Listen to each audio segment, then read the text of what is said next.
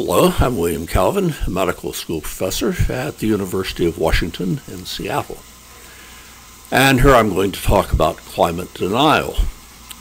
Psychological factors are now playing a key role in our failure to address the looming climate crisis.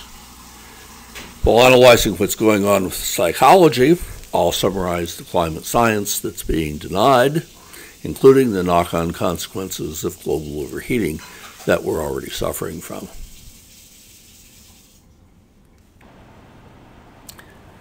Uh, denial is sometimes willful ignorance. There's a fine example uh, back in Galileo's time when he invited other astronomers to look through the telescope, and they refused to do so. Uh, he was describing imperfections of the heavenly bodies, and they said everyone knew they were perfect spheres, so there was no need to look. So again, we have an example here of uh, saying what you're expected to say rather than what you might actually think. The modern parable, parallel, of course, is all the people who don't believe the IPCC 2007 climate assessment, despite never having read it.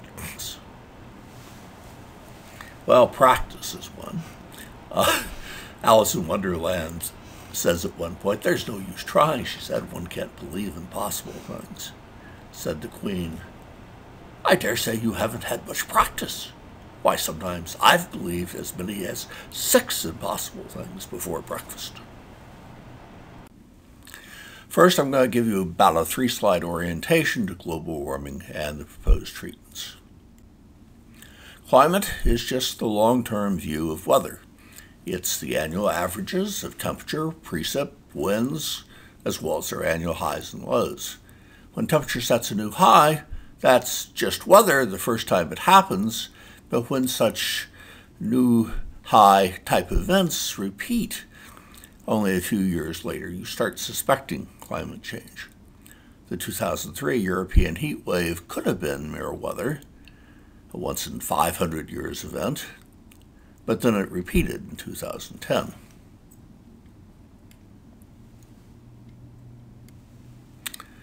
By now, most of us know that we're overheating, but it's, that's been clear only since 1976. There's a lack of trend from 1950 to 1976 that certainly confused things. Uh, but since 76, it's been going up uh, exactly the way that uh, you might expect from uh, the greenhouse effect. And the greenhouse effect is mostly from burning coal and oil and natural gas uh, to put CO2 in the air. Uh, most people know that it promises to get much worse, sort of, someday. Uh, unless, of course, we reduce emissions, clean cars, clean energy, more efficient this and that. This is basically the 1970s uh, greenhouse gas agenda, largely unchanged. Uh, we're trying to get this across for 40 years now uh, without much success. But things have changed in that 40 years since then. Uh, it's now only slowly overheating, but we now have taken into account that the extreme events that do the damage, not just the uh, air conditioning bills during the summertime. It promises to get much worse, but it, because of the suddenness of the extreme events, uh, it could be later this year as well as the end of the century. Unless we reduce emissions, this list really is totally inadequate now. It was, but it, it would have worked perhaps back in the 1970s. But now, unless you do a real fix that removes the CO2, all these things will be too little as well as too late. Now, a view of climate denial and its paid promotion. Uh, first of all, we have to sort of separate skepticism from denial. Uh, even climate scientists may be skeptical about a given line of data or argument, but there's certainly no blanket skepticism amongst the scientists like there is amongst the so called climate skeptics. Uh, we've, been, we've heard climate uh, science called a hoax by uh, several presidential candidates. It's very reminiscent of what was heard back in the Weimar Germany era, just before Hitler. Uh, the political right called Einstein's theory of relativity a hoax and said he was in it for the money, much as climate deniers argue today. Uh, Rick Perry, the Texas governor, uh, said climate change is unproven theory created by a substantial number of scientists who have manipulated data so that they will have dollars rolling into their projects. These sort of ad hominem attacks on scientists and other things designed to get them to keep their heads down politically uh, has become. But there are also economic aspects of denial. And let me go through the history of more efficient use of electricity. Uh, this is the electricity consumption per person uh, since 1960. And what you see here is the U.S. consumption went up from about 4 to about 12. So uh, we've tripled our per person use of electricity over that period. But you notice here there's this one state, California, and uh, all of Western Europe is similar to this, which after 1973 oil crisis times uh, decreased their dependence and managed to hold electricity consumption flat. Now, you might ask what that funny red line is up there. Well, let's see another line first. These are the so-called blue states uh, that that voted for uh, uh, the Democratic presidential candidate in 2004. And, well, those are the red states. Indeed, in addition to climate denial, they'd probably like to engage in electricity consumption denial because this shows them as the most profligate wasters of electricity in the country. Next, I want to suggest that denial is not so much about doubting the science as it is about avoiding ostracism. Uh, a couple of public opinion polls here. Um, a question that's been asked every year in the last 10 is Have the effects of global warming already begun? And they also asked the people to describe themselves if, as either liberal, moderate, or conservative. And you see here that uh, while the people describing themselves as liberals thought global warming had begun by about 70%, moderates by about 60%, that the conservatives, while they were up at 50%, uh, then dipped and then went back up to 50%, and that had this precipitous decline after Tea Party politics came in, down to 30%. So you can see that at least two out of five of the uh, conservatives, that would be four out of 10 conservatives rather, uh, have changed their mind about the facts.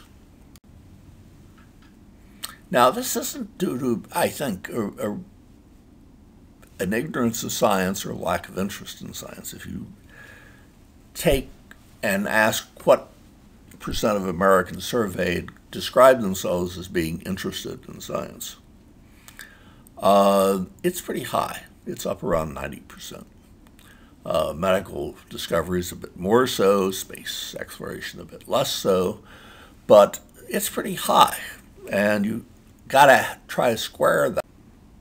So it's not a matter that people aren't interested in science, it's that they make exceptions for certain subjects. And evolution, denying evolution is uh, the classic. Just ask evolution true or false, uh, some countries you'll get 85, 90% people saying it's true. And in the US, if you ask that, you'll get an answer down about 40%. Um, U.S. is down with the Islamic countries in this regard. And it really has to be seen as a cultural phenomenon. Uh, one of the best analyses for climate denial is the following. We have a strong interest in mirroring the views of our own cultural group. On issues like climate change, for most people, these cultural calculations trump any attempt to make an objective assessment of the evidence. This is Don Kahan from Yale speaking. The climate denials, it seems to me, is trying to make climate a taboo subject with ostracism as the threat. Now let's discuss denial and belief. Um, scientists don't believe in global warming. That's not a fair thing to say. It's not a matter of belief anymore. Uh, it's no longer a hunch or a hypothesis because we can give you a dozen lines of evidence for overheating. And even if one of them had problems serious enough to make us distrust it, this wouldn't make the other 11 go away. So let's go through some of nature's thermometers. Uh, here's the instrumental record that I showed you before, except I've overlaid another four data sets uh, that show you basically the same thing. Uh, and they're snipped from this uh, illustration of the so-called hockey stick, going back to 1800, the estimates of temperature. Well, suppose for some reason this were all wrong. Improbable that that seems, but suppose it was. Well, it wouldn't change anything uh, about the climate prognosis. Uh, here's pictures of a glacier in Austria in 1985, and again 15 years later, uh, vastly reduced in size. This has been happening worldwide. Here's South America one of the big ice sheets in the Andes spilling over into a valley, and 20 years afterwards, it was reduced to very little.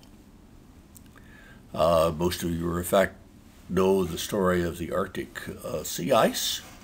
Uh, if we um, take a look at Greenland there, that is ice that is about two miles thick and over the Arctic Ocean, that's just floating ice. Same as on a pond, except it might be one or two meters thick. But the amount of it at the end of summer has diminished quite a lot. And some of the models are now suggesting that another 30 years or so, nothing might be left in summer.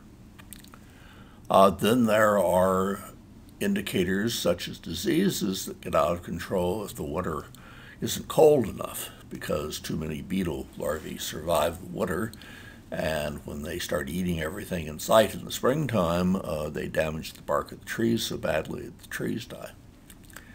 This is up in British Columbia, and it's showing you the extent of the uh, damage from the pine beetle infestation.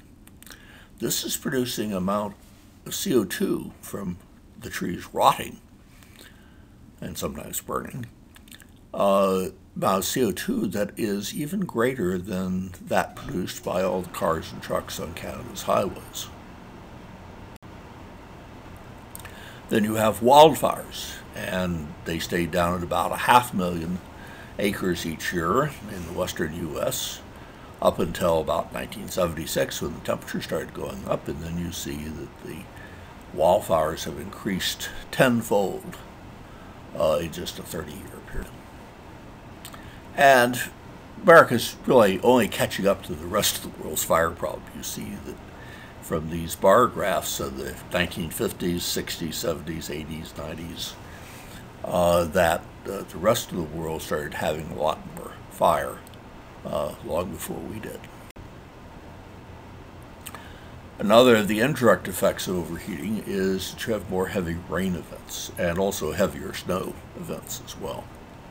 Uh, it's, it's really nonsense saying that if you have a lot of snow in the winter that it's be a disproof of global warming. In fact, it is one of the proofs because what was predicted long ago just from the thermodynamics was that there was going to be a, a lot of uh, additional evaporation from the tropics being hotter, and that this would fall, some of it on land, uh, creating floods. Uh, there are consequences of that we've seen locally. Uh, so let's discuss floods now. Floods also have been going up, and this is just the, the bar chart for the Americas. Uh, these are the number of floods in the 1950s, in the 60s, 70s, 80s, 90s. And what you say is that in the 60s, the number of floods doubled. In the 70s, they doubled the 60s. And in the 80s, they doubled the 70s, and so on. Uh, so the Americans have had a severe problem, and again, it's a worldwide issue. This has been happening all over the place. In particular, let's look going back to very heavy precipitation. Uh, this is just the U.S., and what you notice here is New England up there has a 67% increase over a few decades ago in the number of days with very heavy precipitation. Uh, the country is up in general, uh, it's not down anywhere, uh, but New England and even down into West Virginia uh, has really been getting. This is the scientist's editorial comment in a, in a news article. The intellectual rot runs runs wide. 96 of 100 newly elected Republican members of Congress either deny climate change is real or have signed pledges vowing not to spend a nickel on it. So, how can people deny all of this very different kind of data on uh, climate change, getting us into more and more trouble? Well, there's a bumper sticker that, that does summarize it. I've already made up my mind. Don't confuse me with the facts. But the question is still why. So, where are these people really coming from? Uh, are they stupid? I think that sort of name calling is just to underestimate. I think opportunists might be a bit closer, at least for the leadership. Uh, there's the sole principle of follow the money. sort of a legal principle uh, that somebody who would gain something from an action or an event is probably responsible for it. And follow the money. In this case, shows that just in an 18th month period, the energy industry spent half a billion dollars fighting climate change legislation. And, according to scientists, much of the effort was to cast doubt on the findings of climate science or to impugn scientists' reputations and motives. You have to imagine climate scientists raising a half billion dollars to counter this, and it's a very lopsided affair. Encouraging people to adopt a head in the sand posture in the case of climate has some very real consequences. And it's not just in providing fodder for the cartoonists. There are very dangerous consequences to this, like making the Earth uninhabitable, unable to feed most of its 7 billion humans. Population crashes are very cruel. They're full of famine, pestilence, war, and genocide. And that's the bottom line here. What we're facing in this climate crisis if our efforts prove too little, too late. And particularly when you know that it's sort of the equivalent of encouraging the town drunkard to bury his head in the sand at the railroad tracks when you know there's a train coming. I mean, people who did that to the village drunkard, for example, would probably face murder charges. But nothing like that is available as a remedy for the very concentrated effort that the fossil fuel industry is making to continue its profits a little longer. There's also quite a history to the big lie because one of its early practitioners proved so quotable. Uh, the bigger the lie, the more people will believe in it. Hitler's minister of propaganda. If you repeat a lie often enough, it becomes the truth. And Goebbels claims in his diary that he could make people believe that triangles and circles were the same thing. Well, now ignore all the paid orchestration of denial and delay. What about honest differences? Let's explore it for a while. Uh, there's a number of things we sort of have to take on faith sometimes. Uh, but for example, scientists have beliefs, just as a businessman might have a belief that opening a new restaurant on a particular street corner ought to be successful. But scientists' beliefs like this are always tentative. They're sort of what leads you to spend several years trying to get at the facts through clever experiments. But when you can finally establish facts, say when the corner restaurant never turns a profit, facts trump beliefs. In science, we like to say with Thomas Huxley that the great tragedy of science is the slaying of a beautiful hypothesis by an ugly fact. And it happens all the time in science. It's the way we make progress. So there have been lots of facts that have developed since 1970. There's no doubt now that most of the overheating is due to the now 40% excess of CO2 in the air. Nor is there any doubt that this excess largely comes from deforestation and, about four times larger, fossil fuels. Nor is there any doubt that humans caused most of this, starting with pickaxe technologies. Most of the doubts now being raised about whether the global warming diagnosis is correct were the questions raised by scientists themselves back in the 1970s.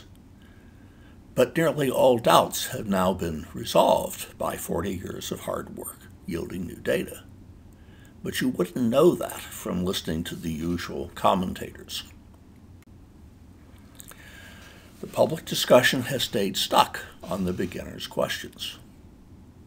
Well, there's no end of people that you might blame for this. We could blame the loudmouths. We could blame the media for not showing up the loudmouths. We could blame the deny and delay squad. We could blame scientists for ineffective communication and education, for their failure to try a different approach after years. So let's discuss now the psychological defense mechanisms that lead into this. I originally thought when I started researching this subject that uh, it might be what in psychiatry is called denial at work, but now I'd say that's not the case. Uh, the medical meaning of denial is goes like this: uh, Denial is, is perhaps the most primitive and best known of the psychological defense mechanisms. People may simply ignore unpleasant facts. They filter out stuff that conflicts with their self image, their prejudices, their preconceived notions of others, and of world. When something interferes with our self image, or when we are afraid, or guilty, or confused, we tend to deny it. And climate involves all four of them. Even without the blowing smoke campaigns aimed at confusing people. What we now see are methods that were adopted from the earlier asbestos and tobacco campaigns being used to confuse people now. So, which type denial are we talking about? There are a number of connotations of it you'll find in the dictionary. Uh, we may uh, deny, you, we may say deny when we really mean reject or refute, or when we merely disbelieve something. Uh, there is a medical level, sort of a delusion type denial. Uh, these patients are really don't know they're doing it. It can take years of psychoanalysis to finally convince them of it. Or, of course, denial could really just be avoidance, or it could be a cop out, for example. Let's look cop out. Failure to engage with some aspects of climate science and geoengineering responses could be a cop out. That's a delaying action because of fearing failure and wanting nothing to do with the failure. Now, we medical school professors try to teach the medical students the dangers of delaying action. One of the um, sayings is that the doc who waits until dead certain is likely to wind up with a dead patient.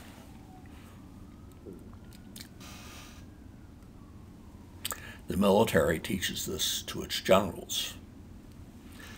But it, this is really part of the training of our political leaders and nor of our climate doctors. In fact, Uh, very few people are trained in, in thinking like this. So let me give you an example now of avoidance. You all remember the joke that everyone talks about the weather, but no one does something about it. Well, Steve Schneider decided to revise this to say everyone does something about the weather, but no one talks about it. That's avoidance. Avoiders are not deniers. They're aware of the climate threat and they accept the science, unlike deniers. They don't want to talk about it because it comes, because their own ethics would then require them to act, and action would be disruptive to their lives. For example, they might get slandered as alarmist or as a chicken little uh, you, they may not want to disturb the boss's good opinion of themselves. Uh, they might fear the spotlight and stage fright, having all that fo- attention focused upon them. Then, of course, there's that Japanese saying about conformity in their society the nail sticking up gets pounded back down. Furthermore, avoidance can be what's behind some kinds of optimism. And again, a medical school type example. Uh, physicians, if you study the records of what they wrote in the chart versus when the patient died, uh, it turns out that physicians overestimate survival times for two thirds of their stage 4 cancer patients.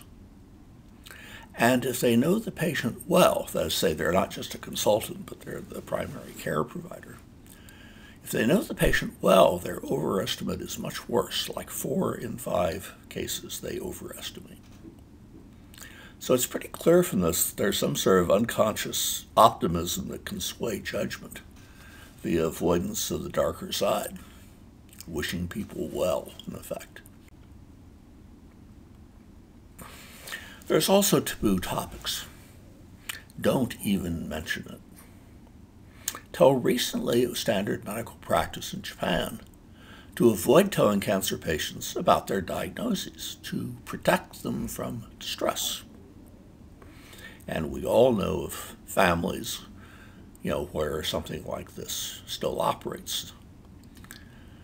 Worse, talking about a run on the bank, for example, is sort of a taboo topic in public because of worries that it might trigger a run on the bank. But when this gets carried over into the planning, it's another matter. I mean, it's evident now that the housing bubble bursting in 2008 was probably a taboo topic amongst U.S. regulators um, back before then because they really had no plan for dealing with it. Now, let me bring up a somewhat delicate topic, uh, which is considering whether there's avoidance even by climate scientists, or some climate scientists. And the only reason I, I really take this up uh, is because of the following things. First of all, the climate agenda has remained unchanged. As say the, the diagnosis, the prognosis, the recommended treatments, really haven't changed since the 70s. However, we're now in a situation where emissions reduction isn't going to do the job. It'll be too little, too late. Then there's the matter that we have, in the meantime, discovered that there are abrupt climate shifts. And so the question of how long do we have is now not just a matter of what the computer models predict about gradual warming. Simply, there are abrupt events that we don't know how to predict. So let's look at some of the talk about emissions reductions. Uh, emissions are defined as the extra CO2 emitted into the atmosphere uh, at where the, the carbon in the CO2 is taken out of long term storage For example, it's uh, losing forests because they're not replanted, or burning fossil fuels, coal, oil, natural gas, and as it turns out, making concrete. Reducing annual emissions is a perfectly sensible course of action had it been done 50 years ago. Back when the red flags were already flying, it might have sufficed, but it wasn't done. It really isn't 50 or 60 years ago anymore. For example, the computer models of how fast it's going to warm up show that with, with business as usual emissions, with them continuing to grow at the current 3% per year, the year of the two degree fever is 2049.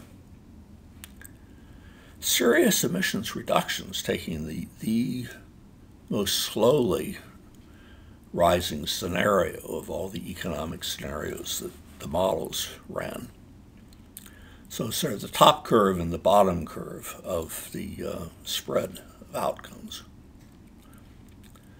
only delays this disastrous two degree overheating by about 19 years. So, in effect, all of the efforts that we're making and not succeeding at uh, are really in aid of buying no more than about 19 extra years would suggest that something else in addition had better be done. Well, this isn't really comic relief, but it reads And when we look at the future given to us by our elders, three words come to mind We are toast. But that's if we don't do anything about it. But the talk, the, the goals set are so wimpy that I think that even the graduating seniors might have noticed. Many now think that achieving zero emissions later this century will do the job. Or lacking that, stopping the 3% annual growth in CO2 emissions is an adequate goal for responding to climate change. But notice here, we're now talking at two removes from the real problem which is excess CO2 already in the reduced emissions will not get rid of the current excess quickly enough or in a way which avoids dangerous acidification of the surface ocean. So there's an interesting bit of word substitution, or at least meaning substitution, going on here that should consist. People are talking as if current emissions, that's say this year's, emissions were the real problem. They are not. The accumulation of excess CO2 is the real problem. It's what sets off desert expansion, deluge and drought, heat waves, and all the rest. But talking about emissions as the real problem leads to thinking that reducing them can solve the problem. That may have been true once, but not anymore. So here, here's an example of changing the subject, which might be relevant here, uh, to the extent that the de- Deny and Delay Squad has gotten in the act. Suppose you ask your prospective spouse, How much money do you have in the bank?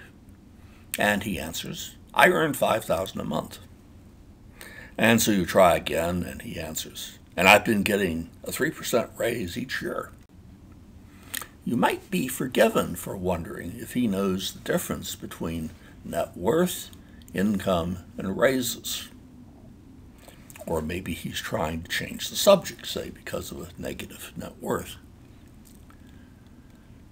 Now, while few climate scientists would do this, that's not necessarily true of a number of the other actors in this drama. The other thing that is surely discouraging to anybody that looks at this carefully is that our current climate response, our prescription for how to solve the problem, is mostly just a reemphasis of the old virtues of clean air, clean energy, sustainable agriculture, reforestation, greater efficiency, less waste, and of course, longer term thinking. which unfortunately papers over the short term part of the problem. Now, looking at this list of good things to do, there'd be good things to do even without a climate problem. But the deny and delay squad types suggest that all this is just green activism in new clothing, with climate as a new rationale, so that we, since we reject, you know, green thinking, we can ignore the problem. So emissions reductions, we should realize, only scale down the future CO2 additions. They don't subtract from the CO2 that's already accumulated. While emissions reduction is all that most people talk about doing in response, it neither stops making things worse, nor does it rid us of the accumulated past emission. While deforestation and fossil fuel emissions are what got us into trouble, it does not follow that fixing them will get us out of trouble. That's like thinking that stopping smoking is a sufficient treatment for lung cancer, or that brushing your teeth more regularly will fix the cavity you've already got. It's time to acknowledge that the current climate prescription is another such fallacy and seek a real fix. Thanks to 50 years of climate avoidance, we now need a short term fix cleaning up the air's CO2 to make the long term redesigns viable. So, in the next section, I'm going to ask why has the climate diagnosis, prognosis, and suggested course treatment stayed stuck on what was obvious in the late 1970s, despite the growing evidence that all three must be changed. So, in the 1970s, and still, the diagnosis is presented as CO2 poisoning. The prognosis of is that will slowly overheat, will start running a fever. And the intervention needed is to reduce emissions. So after 40 years, things changed. But the story hasn't. The diagnosis, the way I would formulate it, would be now CO2 poisoning with climate instability and ocean acidifications as complications that may kill us off sooner than the CO2 heat waves. The prognosis sudden climate shifts atop the global fever with the threat of population crash. The intervention needed is to reduce emissions, but also to remove the excess CO2 already in the air. So, why have our climate doctors settled for such an outdated, inadequate framing of our climate problem? Well, first of all, treating the patient is not something they train for. I mean, they didn't set out to become birth doctors. Uh, in fact, no one did. Secondly, the climate science community is getting lots of, in retrospect, I think, one sided advice on the matter, simply because it doesn't balance them against risk management. To some extent, the climate scientists have to focus on those parts of the problem that the public and policymakers can comprehend. Knowledgeable politicians usually advise the climate scientists to tailor the climate message to emphasize clean energy. Furthermore, the psychologists have told the climate scientists that fear based appeals, especially those not coupled with a clear solution, can backfire. For example, telling the climate story and ending with a list of emissions reductions possibilities is more likely to make the, the person believe the underlying science than is an explanation pointing to a catastrophe with no proposal for avoiding it. Unfortunately, history shows us that this can lead to further tailoring of the message to emphasize what reluctant ears will listen to. It could drive you into reporting smoke rather than the fire you actually observed. And history is replete with examples of this. Climate scientists have mostly sobered up to their painful role as modern day Cassandras, uh, pointing at a Trojan horse and no one listening to them.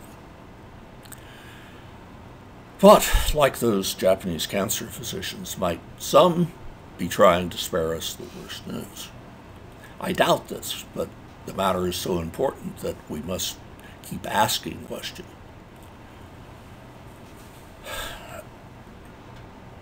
We scientists, I think, have a responsibility to speak frankly, even about things that we cannot back up yet with data.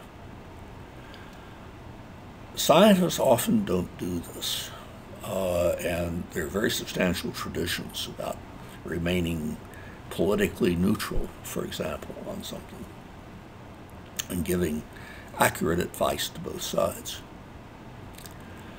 But these rationales that scientists give for avoiding speculation are seldom applicable to situations where time is short and informed opinions are. The real problem is not opinions, but informed opinions uh, often are being withheld. If we're forced to act on incomplete knowledge, and I think we are, then the people doing the guessing should be the most knowledgeable available. And they should remember what Hippocrates said 2,500 years ago to physicians. Life is short, the art long, opportunity fleeting, experience treacherous, judgment difficult. But in spite of all that, the physician must be ready not only to do his duty himself, but also to secure the cooperation of the patient, of the attendants, and of externals. In terms of what to do, I will cover a second opinion on what to do about climate in a subsequent talk, also on YouTube. Now to wrap up climate denial. And again, these are my opinions summarizing the subject. Are the deniers stupid? No, I think follow the money is a much better possibility. Are the deniers uninformed by choice? I think they often are. Uh, is there avoidance going on? My guess is there's lots and lots of it is the denial at the level of real delusions, psychiatric level. My guess is not very many. Why the scientists inadequate framing the di- climate diagnosis, prognosis, and treatment? Well, I think mostly they're just outdated and haven't uh, undertaken a real reframing. All these problems of climate denial were also true of Americans' denial of evolution. But there, there was little economic interest, little paid obfuscation, making things worse. Um, for example, the that the climate problem is just liberal ideology is perhaps a cover story to obscure the fact that vast amounts of money are being spent to manipulate us, and not by the scientists. all this brings up humanity's fatal flaw of whether we're dealing with something here that could really uh, kill off the larger part of, the, of humans. Aristotle said that a fatal flaw is an injury committed in ignorance with disastrous consequences. So this was Greek theater's overriding theme long before Aristotle coined the phrase about 2,400 years ago. Is that going here? Well, it might truly be a delusion of believing impossible things, some of which are dangerous. But my guess it's closer to an insufficient wariness about the money and motives behind leading deniers. I think that fear of being on the outs uh, is uh, much more the problem here, much more likely to be the fatal flaw. Uh, climate denial is being sold as a part of the creed that you ought to subscribe to if you want to remain a member of the party or climb the corporate ladder. Fear of exclusion is much easier to orchestrate with money than encouraging delusion, delusions, which might require a much, much larger budget.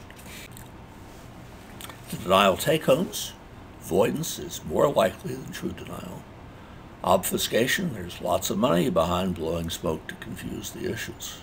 For the denial industry, delay is their most important product. Third, reframing the problem can hide the real problem. That is to say, reframing it as emissions rather than as CO2 accumulation. Fourth, the creation of taboo topics now seems to include geoengineering, and that's probably not uh, fault of the same people. Next time, I'll discuss what to do about climate and how quickly it has to be done. A good place to stop.